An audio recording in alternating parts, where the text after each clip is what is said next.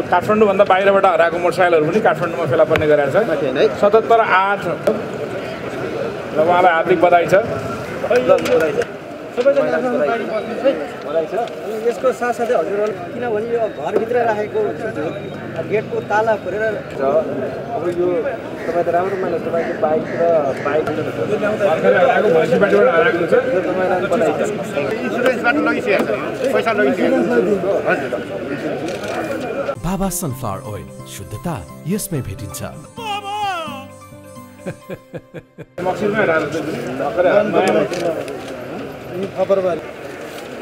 सागर बुढा छ कि जी यो लिकुपिके गाउँपालिका ए यो सरकारी बाइक यो कुनै पनि चाहिँ नि जनताको सम्पत्ति चोरी भएपछि त्यसलाई खोजेर ल्याएर दिन दिन पनि दायित्व त हाम्रो भइहाल्यो। तर तपाईँले भने चाहिँ सँगसँगै हामीले चाहिँ चोरी नै नहुन दिने उपायहरू पनि अप्नाउनुपर्छ।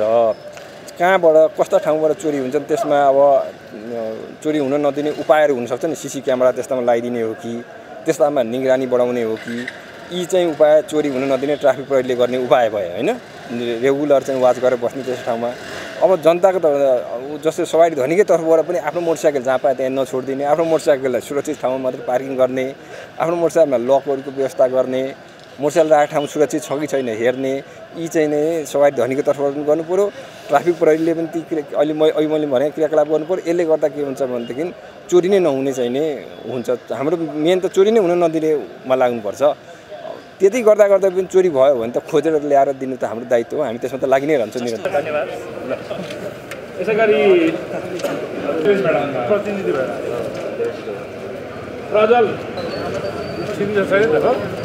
Давай, давай.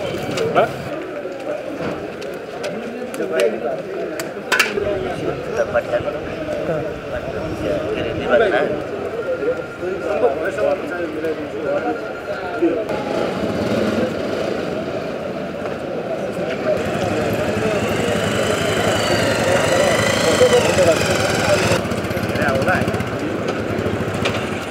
Thank you.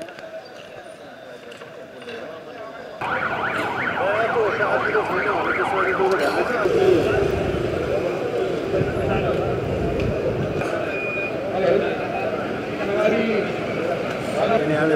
छैन